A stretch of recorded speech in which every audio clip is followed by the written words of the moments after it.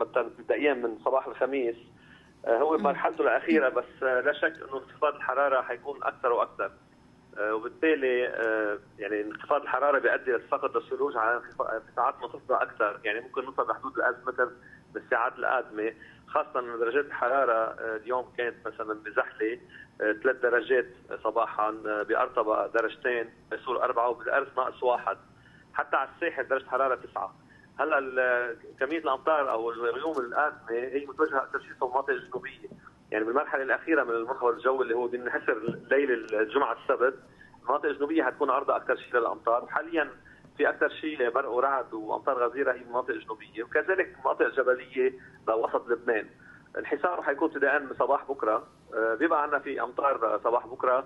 آه، لأنه بيكون في بعد في رطوبه ودرجه الحرارة رح تنخفض أكثر بكرة. لذلك الأمطار مستمرة حتى تقريبا ساعات الصباح الأولى من نهار السبت. وبعدين بصير في عندنا هواء شمالي لنهار السبت ونهار الأحد بيؤدي لتكون طبقات من الجليد على ارتفاع 1000 متر وما فوق، هذا بدنا نحذر منه أكثر شيء. نعم، يعني فينا نطمئن المشاهدين ونعتبر إنه هالمنخفض الجوي هو اعتيادي جدا لمثل هالفترة من السنة؟ أكيد. نحن هلأ بكانون الثاني ومثل ما شفنا كانون الأول ما كان كثير ممطر. عادة لما يكون كانون الأول ضعيف بكمية الأمطار كانون الثاني بيكون أفضل بكثير وبيعوض اجمالا بكمية الأمطار لأنه هدول الشهرين هن اجمالا أكثر شهرين بتشتي فيهم. هلأ بالنسبة للمناطق الشمالية آه، كمية الأمطار وصلت تقريبا 300 ملم تقريبا يعني هي كميه كثير منيحة هي تقريبا حد المعدل العام الوسطي. هلأ بيروت والمناطق والقسم الجنوبي من لبنان بعضهم تقريبا أقل من المعدل العام بس أكيد كمية الأمطار اللي سقطت امبارح واليوم حترفع المعدل. نعم.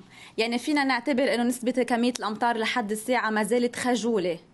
إيه، هلا بالنسبة لبيروت والقسم الجنوبي من لبنان بعدها أقل من المعدل العام يعني مش خجولة فينا نقول فينا تحسنت منيح لأنه نعم. كمية الأمطار صارت حوالي تقريبا 60 ملم يعني ارتفع المعدل ببيروت لل 180 ملم المعدل العام هو 280 الوسطي اللي هو معدل كثير جيد. يعني بتأمل بشهر كانون ثاني نرجع كمان نعوض أكثر. بس بالنسبة للمناطق الشماليه نحن كثير جيدين. نعم شكرا لك عبد الرحمن زواوي على هذه التفاصيل. أهلا وسهلا. وعلى وقع استمرار العاصفة الجوية تبدو غرفة التحكم المروري على استعداد كامل لتسهيل حركة المرور. طرقات جبلية متنوعة كانت قطعت بفعل تراكم الثلوج كيف يبدو وضعها الآن وماذا عن الاستعدادات للمرحلة المقبلة للمزيد؟ ينضم إلينا الأستاذ أسعد شمعون من غرفة التحكم المروري. أهلا بك. ما هي الإرشادات المتوجبة على المواطنين للتقيد بها؟ موجود يعطيكم العافية. نعم تفضل. آه في عنا الطرقات الجبلية ظهر البيضاء ترشيش زحلة آه سالكة لجميع المركبات.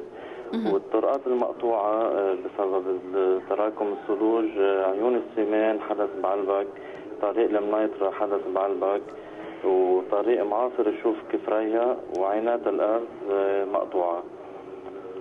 نعم. أوكي. وأكيد آه، يتوخوا الحذر المواطنين وينتبهوا لسلامتهم نعم. هل في إرشادات معينة لازم يتبعوها المواطنين بكافة المناطق؟ هلا أكيد المناطق الجبليه آه، بدهم ينتبهوا في يستعملوا كل القصص الضرورية نعم. لسلامتهم وينتبهوا على على الجليد من عشية بطبيعة الحال. نعم. وفي إرشادات كوى الامن الداخلي والدفاع المدني كمان يتأيدوا فيها أكيد.